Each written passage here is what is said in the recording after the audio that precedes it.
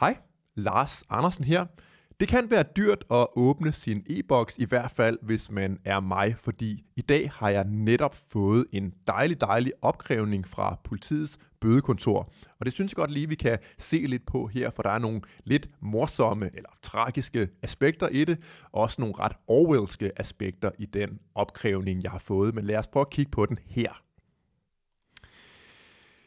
Den er som sagt fra politiets administrative center. Det er dem, der sidder og skraber penge ud af borgerne i visse tilfælde, og i andre tilfælde, så kan de selvfølgelig ikke rigtig finde ud af at gøre deres arbejde. For eksempel øh, at give jagttilladelser til folk og våbentilladelser og sådan noget. Så det er de ikke særlig gode til, men de er åbenbart i det her tilfælde gode til at prøve at få penge ud af folk. Nå, Lars Andersen, ukendt og ukendt adresse. De ved ikke, hvor jeg bor, det er jo altid herligt. Så står der, du opkræves i forbindelse med dom den 20. maj 2020 retten i Lyngby. Og det er den dom, hvor jeg er dømt for medvirken til at sabotere de her masseovervågningsanlæg, der står på danske veje. Altså de her flade hvide kameraer, der sidder som Saurons øje og kigger ned på trafikken og indsamler data om, hvor du er i din bil. Dem er jeg altså dømt for at medvirke til at ødelægge. Og det er jeg sådan set ret stolt af, fordi man skal ikke masseovervåge borgerne fuldstændig mistankeløst. Det er bare noget, der lægger op til misbrug på den lange bane. Det bliver allerede misbrugt. Der har været masser af sager, hvor de har udvidet slettefristerne og lavet logisk sletning, hvor de egentlig bare skulle have lavet sletning. Det kan I læse om i øh, den her artikel. Det er fuldstændig øh, sindssygt i sig selv. Men altså, det er ikke noget, man skal acceptere, de her masseovervågningsanlæg, og selvfølgelig skal de bare ødelægges, så politikerne og magthaverne ikke har mulighed for at tracke dig rundt i landet. Det kan misbruges på den lange bane. For eksempel øh, har man lavet forsøg i England, hvor man prøver sådan nogle øh, ting, der hedder 15-minutters byer, hvor man laver sådan nogle sektorer i byerne, hvor folk helst, helst ikke skal bevæge sig udenfor. Altså det der med at køre langt i bil til arbejde til og fra, det er noget, man gerne vil undgå, så man giver folk bøder for at krydse de her sektorer. Det er i hvert fald det, man gerne vil. Og der er ANPG-anlæg en øh, meget, meget vigtig del af den slags overvågning, fordi så kan man jo se, om man fristes til at køre langt i sin bil, og uha, det må man ikke, man skal blive inde i sin tildelte sektor. Bare en af de ting, man kan forestille sig, øh, det vil blive brugt til på et eller andet tidspunkt. Nå, du skal betale, står der.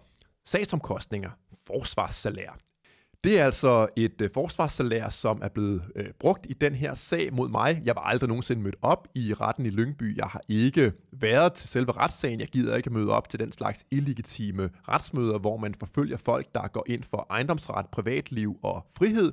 Så øh, jeg er slet ikke mødt op. Jeg har ikke øh, set mit forsvar i den kapacitet op i retten, men alligevel så vil man altså øh, gerne give ham de her penge.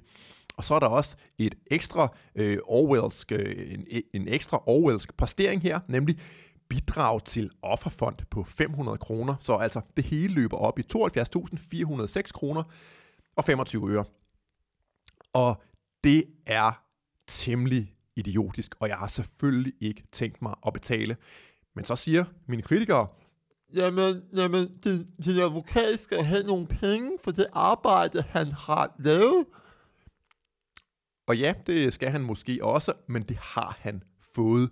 Det er blevet krævet op i skat, og han har fået det her salær. Men altså, jeg vil ikke betale til forsvar i en sag, hvor jeg ikke kunne undgå at have en advokat, og hvor jeg er tvunget til at møde op, og hvor jeg altså ikke kan sige nej.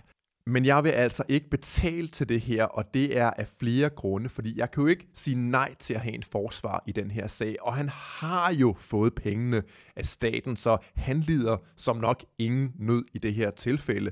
Men jeg har ikke tænkt mig at betale til noget, jeg er tvunget til at betale i en sag, hvor jeg har kæmpet for ejendomsret og frihed, hvor jeg har øh, medvirket til, det jeg er dømt for, at øh, sabotere de her masseovervågningsanlæg, sådan at man i da i et eller andet omfang i nogle tilfælde har kunne køre på vejene, uden at magthaverne og deres håndlanger har kunne følge med i, hvor man har været på hvilke tidspunkter i sin bil. Jeg er jo også dømt for at øh, sige nogle grimme ting om blufærdighedskrænkere og penisbluer ude på øh, Christiania, altså politiet og deres indsats imod folks rygevaner, hvor de dagligt øh, overfalder folk, hvor de dagligt tiltvinger sig adgang til folks kønsorganer for at lede efter den forkerte slags tobak.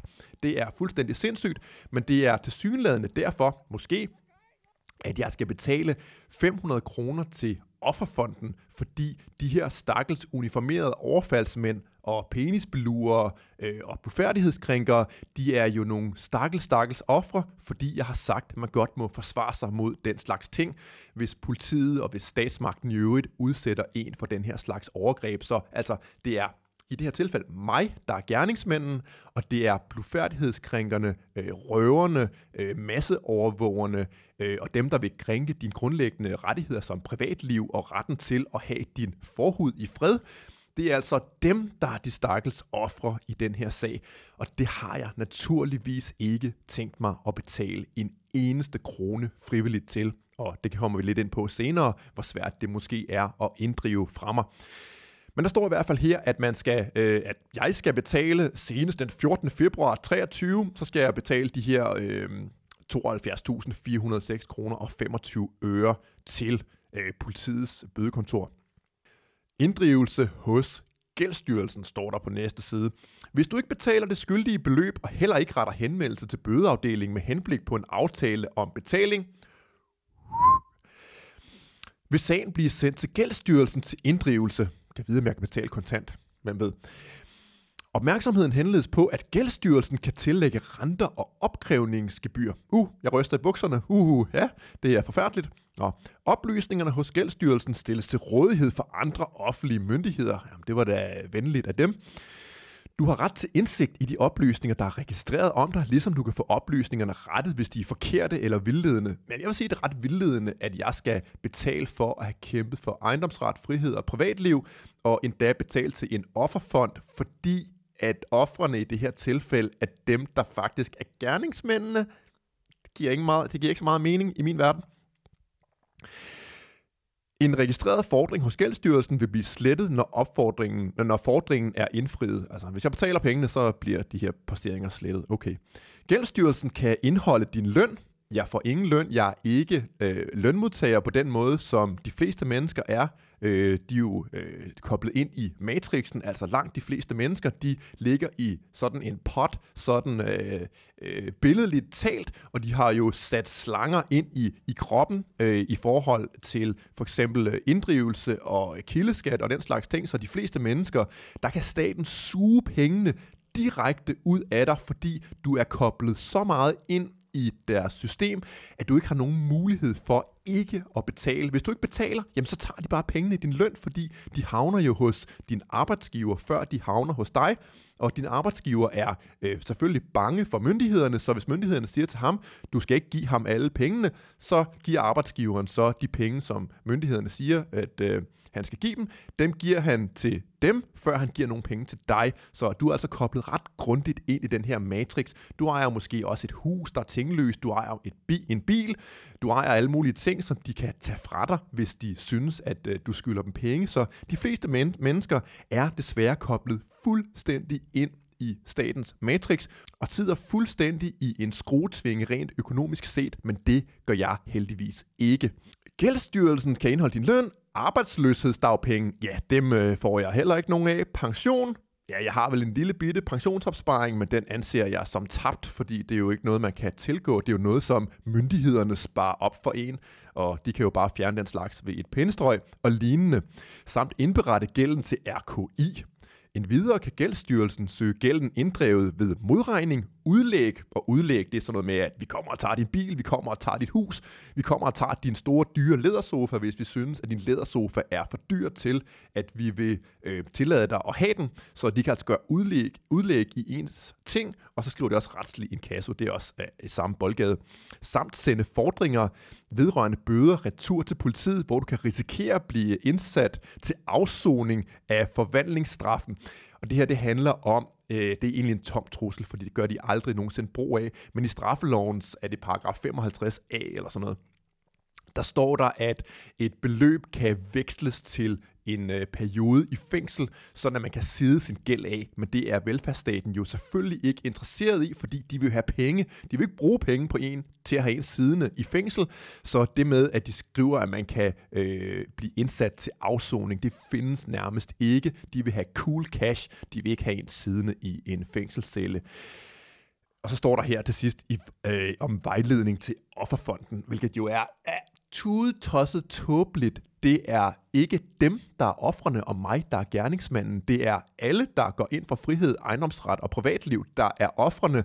Øh, men det er åbenbart øh, stadigvæk mig, der skal betale til den her fond. Okay, vejledning om offerfonden. I henhold til lov om offerfonden skal der betales et bidrag på 500 kroner til offerfonden. Offerbidrag skal betales i sager, hvor der er begået kriminalitet af en mere alvorlig karakter og ved grovere færdselsforseelser. Det vil sige sager, hvor der vedtages bødeforlæg eller idømmes straf, forvaring, ungdomssanktion øh, for overtrædelse af straffeloven. Jeg har brudt straffeloven i forhold til øh, de her øh, sabotageaktioner og i forhold til at sige, at man godt må forsvare sig imod blufærdighedskrænker i uniform. Så ja, det har jeg. Idømmes betinget eller ubetinget fængselsstraf eller ungdomssanktion for overtrædelser af andre love end straffeloven.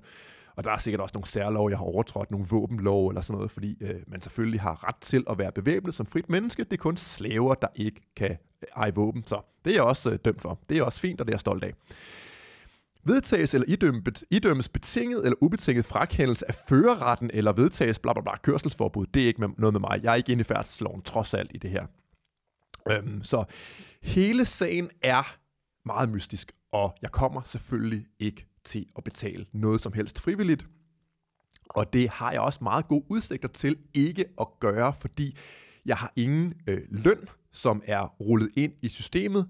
Jeg har ingen opsparing, som ikke er i kryptovaluta, og jeg tror ikke, at statsmagten er blevet så gode til at knække elliptisk kurvekryptering, så de kan komme ind i de her blockchains og tage mine penge den vej rundt. Jeg har ikke tinglyst øh, fast ejendom, som de kan gøre udlæg i. Jeg har ikke, øh, jeg går ikke rundt med Rolex-ur. Jeg har mit dejlige øh, Seiko-ur herpå, som, øh, som ikke er så dyrt, at de kunne finde på at tage det fra mig, fordi man har lov til trods alt at opretholde en nogenlunde normal levefod inden de kommer og tager ens ting fra en. Så jeg kan glæde mig over, at jeg ikke er bagt ind i den her store matrix, som de er vant til, at borgerne er, hvor de bare kan suge pengene ud af folk, hvis de har lyst til det. Så jeg er egentlig stolt over, at øh, de prøver at inddrive den her øh, bøde, eller den her øh, forsvarssalær og den her øh, bidrag til offerfonden hos mig, fordi jeg har ikke tænkt mig at betale noget som helst, og den modstandshandling kan jeg rigtig godt lide. Det var, hvad jeg havde til jer i dag. Tak fordi I så med. Vi ses i næste video, og hvis du har lyst til at støtte mit aktivistiske arbejde, nogle gange journalistiske arbejde, så kan du hoppe ned til den pinned kommentar, der er nede i kommentarfeltet, og der kan du gå ind på Subscribestar og give mig, hvad der svarer til en fadøl om måneden, så jeg kan fortsætte mit øh, landsopbyggelige arbejde her. Vi ses i næste video.